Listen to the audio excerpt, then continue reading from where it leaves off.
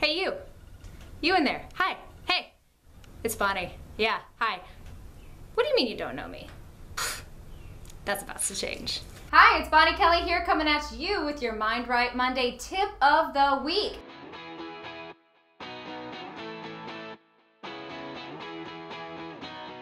So this week we are here to talk about forgiveness. Yes, forgiveness is one of those things that there's so many misnomers out there about. In fact, there's so much misinformation regarding forgiveness. It's no wonder why you struggle. What we want to do today is tell you about our four different tips to help you shift into forgiveness. And before we get started, let's talk about what forgiveness isn't. Forgiveness isn't something that you do for someone else. One of the biggest misnomers is that forgive and forget. Boy, does that get under my skin. You can't forget what has happened to you, especially if you were the victim of a situation.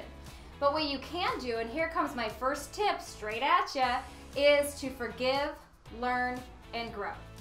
So what you want to do is you want to learn what can you learn from this? How can you grow and evolve as a person? And when you focus on that, then you no longer are going to be in this forgive and forget or I have to just let this go. Because sometimes, especially it's injustice, you can't just let it go. There's too much pain or you feel so violated or wronged or hurt. So just remember, like, focus on to forgive, learn, and grow, and that'll help you shift a little bit more into forgiveness. Now, let me tell you my second tip of what forgiveness is and isn't. So often we think that forgiveness, we need the other person to say they're sorry. We need someone else to apologize or admit they were wrong, and then, and only then, is when I'm going to forgive you. Well, that's not how forgiveness is because the, the biggest misnomer is that forgiveness is for anyone else. Forgiveness is for you and you alone.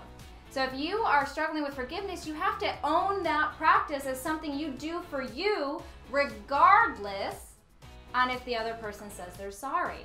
Because it's you harboring this toxic emotion, and when you choose to evolve and to shift out of it, you're the one that gets the emotional freedom, not them.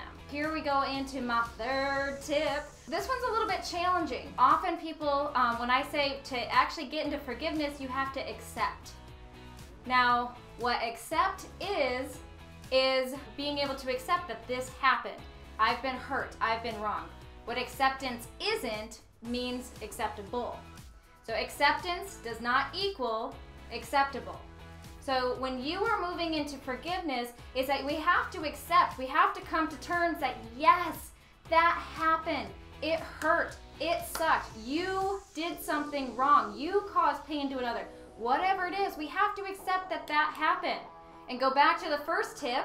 What did you learn? How can you grow? Because we have to accept that it's happened to move on. And if not, all you're doing is you're holding on to the past. And when you hold on to your history, you do so at the expense of your destiny. So I got a great quote here that I'd love to share with you. The moving finger writes, and having writ moves on. Nor all thy pity or wit shall lure it back to cancel half a line, nor all thy tears wash away a word of it.